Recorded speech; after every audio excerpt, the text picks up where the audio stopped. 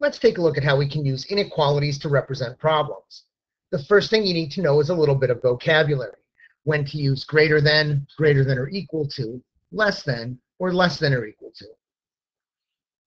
Words such as more than or greater than indicate you'll use greater than. If someone said, we're going to Seabreeze, bring more than $20, you would bring an amount that was greater than 20. The second symbol, greater than or equal to, is given by the following words, at least, greater than or equal to, not less than, or minimum.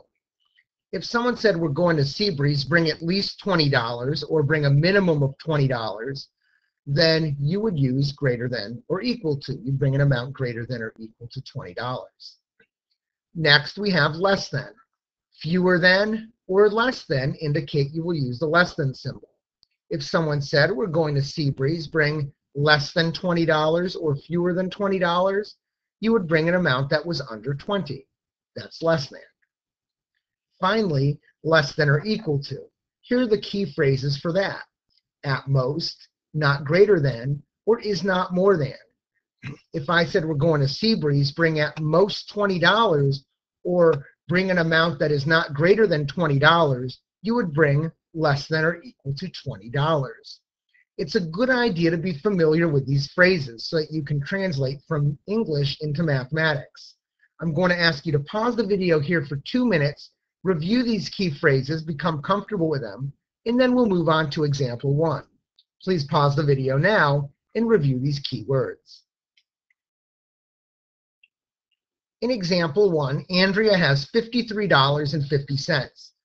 she wants to purchase some shirts that she found on sale for $14.95. How many shirts can she buy? well, here's what we know. The amount of shirts, whatever they cost, has to be less than or equal to $53.50. She cannot spend more than $53.50 because that's all the money she has in her pocket. She could spend less than that amount, or she could spend exactly that amount.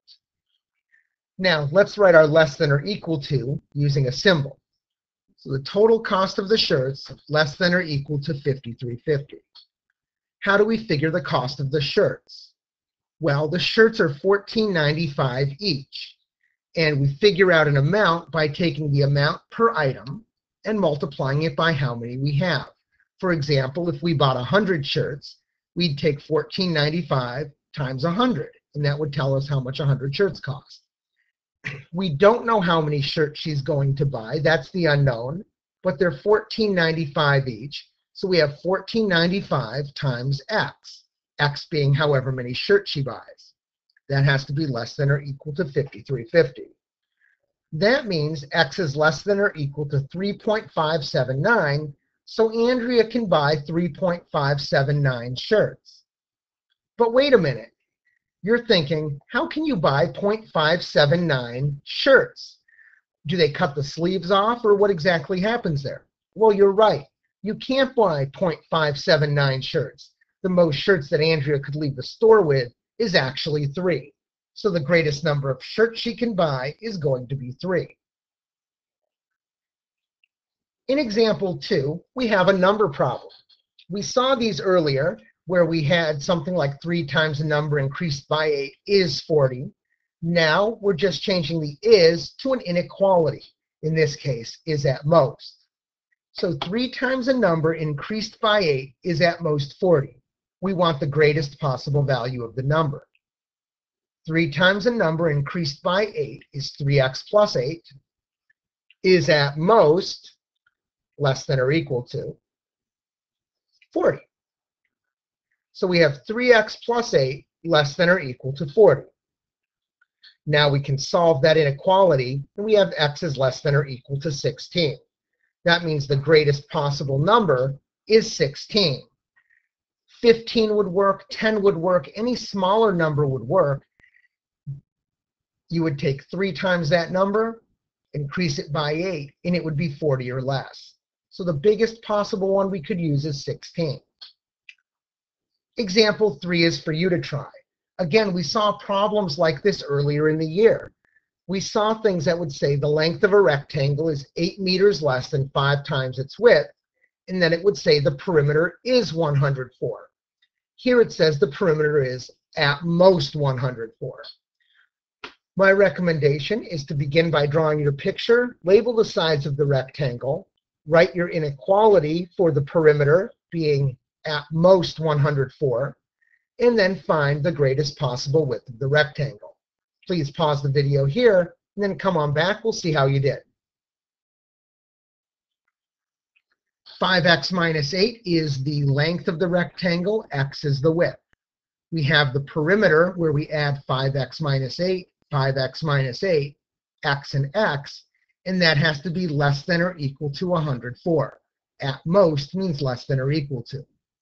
We'll combine our like terms and then solve the inequality. x is less than or equal to 10. So the greatest possible width is 10 meters. If I take any width that is 10 meters or less, I will get a perimeter that is 104 or less. If you picked a number bigger than 10, the perimeter will be more than 104 and it would no longer work. Example 4 is a consecutive number problem. Two consecutive even numbers and their sum is greater than 98 decreased by twice the larger. They want the smallest possible values for the integers.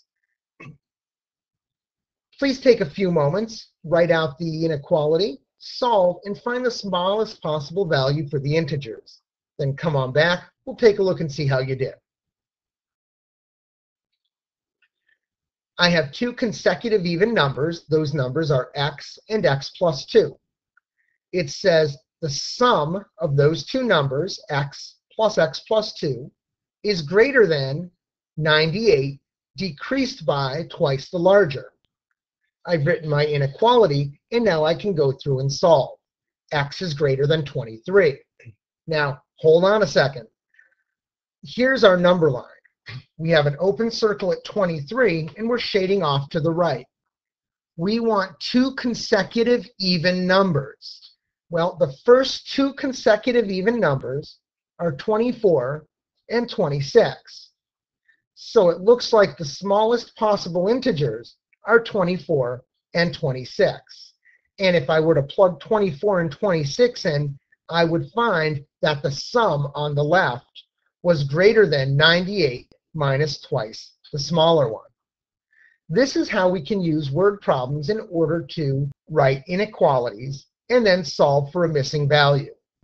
Simply know your vocabulary and work through the problem, and you'll do great. This is everything you need to know about using inequalities to solve problems.